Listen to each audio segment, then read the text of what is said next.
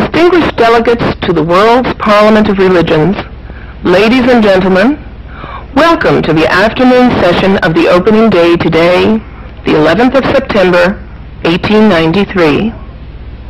We now introduce you to Swami Vivekananda from India and request him to address us.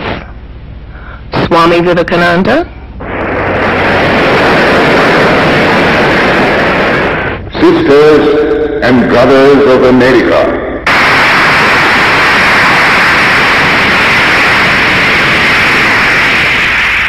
It fills my heart with joy unspeakable to rise in response to the warm and cordial welcome which you have given us. I thank you in the name of the most ancient order of monks in the world. I thank you in the name of the mother of religions. And I thank you in the name of the millions and millions of Hindu people of all classes and sects. My thanks also to some of the speakers on this platform who, referring to the delegates from the Orient, have told you that these men from far-off nations may well claim the honor of bearing to different lands the idea of toleration. I am proud to belong to a religion which has taught the world both tolerance and universal acceptance.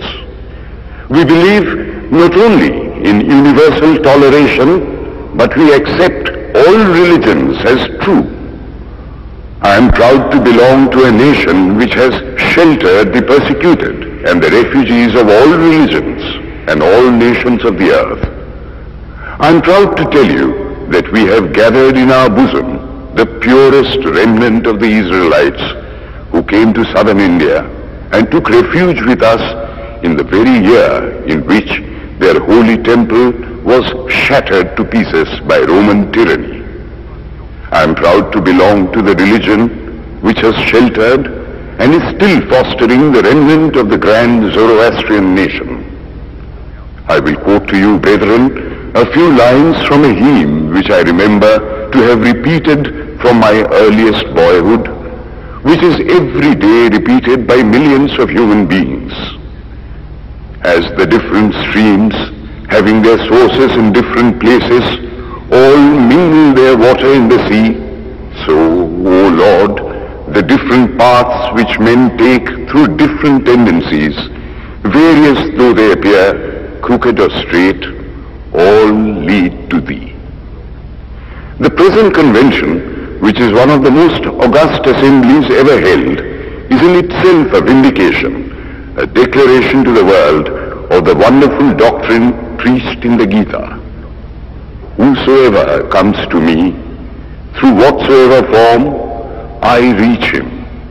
All men are struggling through paths which in the end lead to me sectarianism, bigotry, and its horrible descendant, fanaticism, have long possessed this beautiful earth. They have filled the earth with violence, drenched it often and often with human blood, destroyed civilization, and sent whole nations to despair. Had it not been for these horrible demons, human society would be far more advanced than it is now. But their time is come. And I fervently hope that the bell that tolled this morning in honor of this convention may be the death knell of all fanaticism, of all persecutions with the sword or with the pen, and of all uncharitable feelings between persons wending their way to the same goal.